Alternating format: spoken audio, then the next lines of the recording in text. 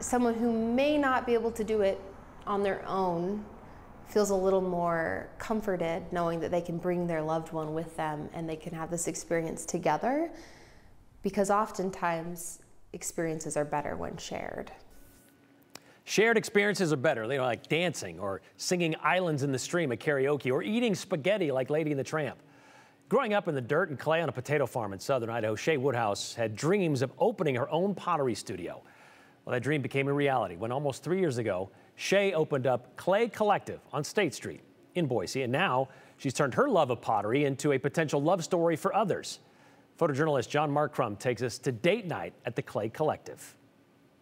I love love. I, I say that a lot. I love seeing people love each other. Do you remember when we fell in love? This is date night. Thank you. Welcome to date night. It's basically Valentine's Day every Friday in here. so we're working with a speckled stoneware. We wanted to have a fun little date. We have two kids and it's kind of hard to get out. Date night started when I opened Clay Collective. Half that ball into the shape of a potato. So I've been working with clay for 16 years. Whenever anyone is like, what do you do for a living? And I say, I'm a potter, or I work with clay. People automatically, the first thing they say is, like Ghost?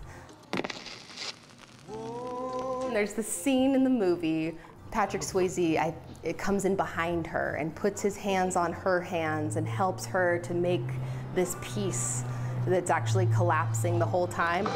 I hope it wasn't a masterpiece.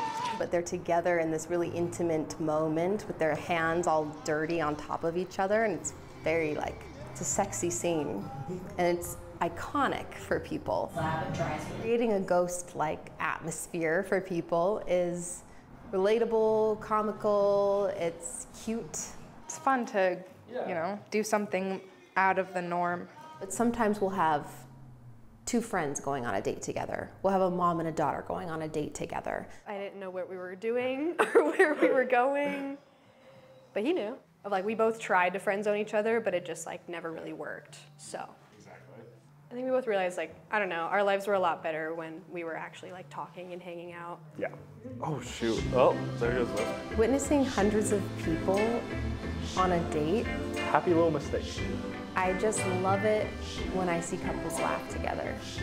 if you can find someone who you're comfortable being vulnerable around and you can laugh through something that's uncomfortable, that's pretty special and um, irreplaceable even.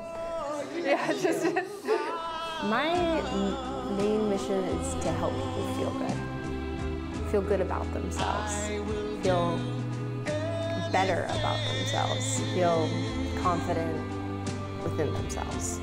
Kind of why I open my doors to people. The Righteous Brothers, come on now. This is the song. My love, my Happy Valentine's Day.